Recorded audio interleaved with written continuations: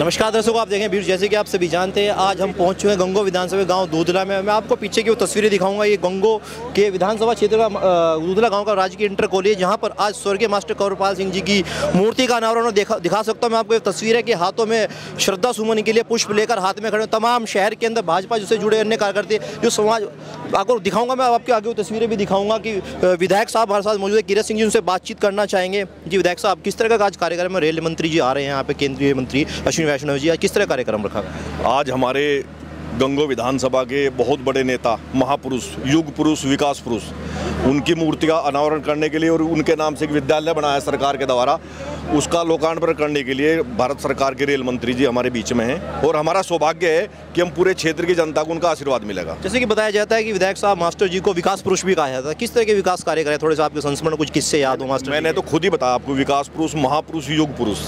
उन्हें इस क्षेत्र में जब वो विधायक बने उससे पहले क्षेत्र की हालत बहुत खराब थी और उनके विधायक बनने के बाद गंगो विधानसभा जब नकुड़ विधानसभा हुआ करती थी। ऐतिहासिक विधानसभा हुई बहुत ज़बरदस्त विकास हुआ मगर पूरे ज़िले में सबसे ज़्यादा विकास नकुड़ विधानसभा में किया था मास्टर जी के द्वारा। इंटर कॉलेज की सौगात मिली है शिक्षा को इस तरह आप देखने बढ़ रहा है तो क्या वाकई में आसपास के क्षेत्र के जो बच्चे हैं यहाँ पे किस तरह का उनको मिलेगा यहाँ पर बहुत अच्छा लाभ पहुंचेगा।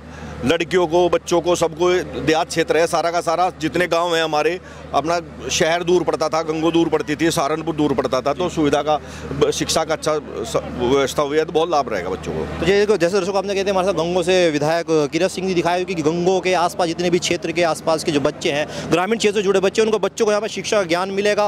और तमाम इस तरह के मैं आपको और आगे की तस्वीरें भी दिखाऊँगा दिखा सकता हूँ। मैं शहर के जो महापौर साहब हैं मेयर साहब भी यहाँ पर मौजूद हैं तमाम दर्शक आपको दिखा सकता हूँ। महापौर साहब से भी बातचीत करेंगे। हमारे बीच मौजूद है। जी, महापौर साहब बहुत बहुत स्वागत है आपका।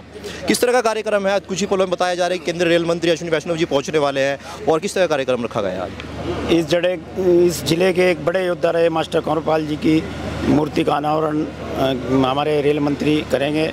गाँव दूधला के लिए एक सौभाग्य का क्षण है कि एक रेल मंत्री यहाँ पे आ रहा है। निश्चित तौर से मास्टर कंवरपाल जी को श्रद्धांजलि देने हमारे रेल मंत्री अश्विनी जी यहाँ पे आ रहे हैं। बिल्कुल बिल्कुल। पूर्व विधायक हमारे साथ नरेश सैनी भी मौजूद हैं उनसे बातचीत करेंगे। जी विधायक साहब किस तरह देखते हैं आज पूरा जिस तरह के आप देखते हैं तमाम बीजेपी से जुड़े कार्यकर्ता या तन्य समाज से जुड़े हुए कार्यकर्ता यहाँ पर मौजूद हाथों में श्रद्धा सुमन लिए हुए हैं और स्वर्गीय मास्टर गोपाल मूर्ति जी का जो अनावरण किया जा रहा है किस तरह देखते हैं पूरे कार्यक्रम को? आज हमारे रेल मंत्री माननीय सोनी जी वैष्णव जी आ रहे हैं और हमारे पूर्व विधायक जो यहाँ के सदाचार ईमानदारी उनकी जो छवि थी उसकी भी मूर्ति का अनावरण है और जितने उनके पुराने साथी थे वो सब लग, लोग आए उनमें उत्साह है अपने मास्टर जी की एक विचारों को देख देखते हैं उनमें उनकी मूर्ति में उनके विचार को देख कर अपने आपको खुश मानते हैं और ये खुशी का माहौल है तो विधायक साहब उनको विकास पुरुष भी कहा जाता है। क्या कारण था उनको विकास पुरुष कहा जाता था? जितना उन्होंने सड़कें और बनवाई हैं मैं समझता हूँ कि अपने समय में इतनी सड़कें किसी विधायक ने नहीं बनवाई होगी जितने गोंगो विधानसभा में सड़कें बनवाई इसलिए उन्हें विकास पुत्र कहा जाता है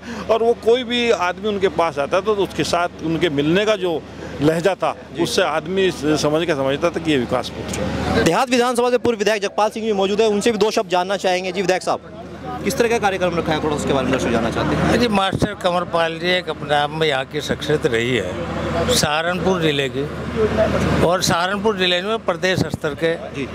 मास्टर कंवरपाल जी जो है पेशे से तो मास्टर थे ही लेकिन राजनीति के भी मास्टर थे। आज उनकी यहाँ पर मूर्ति का अनावरण जो है मान्य केंद्रीय मंत्री अमनी अमनीश जी वो करेंगे। और हम सब लोग जो है, क्योंकि मास्टरी कोई जाति नहीं होती, और उन्होंने हमेशा सर्व समाज में काम करने का काम किया। आज सर्व समाज उनके सम्मान में यहाँ पर इकट्ठा हुआ है। अच्छा विधायक साहब आपसे एक प्रश्न है मेरा जैसे कि उनको विकास पुरुष भी कहा जाता था और तमाम जैसे मास्टर थे मास्टर से राजनीतिक करियर कुछ उनका कैसे शुरू हुआ थोड़ा उसके बारे में जानना चाहते हैं अगर आपको कुछ याद हो। वो छोटे से किसान घर में पैदा हुए और उन्होंने किसी के साथ लग करके राजनीतिक पहले तो उन्होंने पठन पाठन कार्यक्रम किया और फिर उन्होंने किसी ने अपना गुरु बनाया और गुरु बना करके राजनीति में वो भी एक गुरु के रूप में उभरे। एक छोटे से किसान परिवार से चल मास्टर की पदवी आई और उसके बाद जो है, वो राजनेता बनने का काम उन्होंने किया। आज उनकी याद में हम यहाँ पर इकट्ठा हुए दर्शकों, जैसे आपने देखा, तमाम यहाँ पर बीजेपी से जुड़े कार्यकर्ता और तमाम हाथों में श्रद्धा सुमन लिए जो मूर्ति का अनावरण होगा, कुछ ही पलों में केंद्रीय रेल मंत्री अश्विनी वैष्णव जी यहाँ पर पधारेंगे, जो अपने हाथों से कमलों द्वारा उनका मूर्ति का अनावरण करेंगे।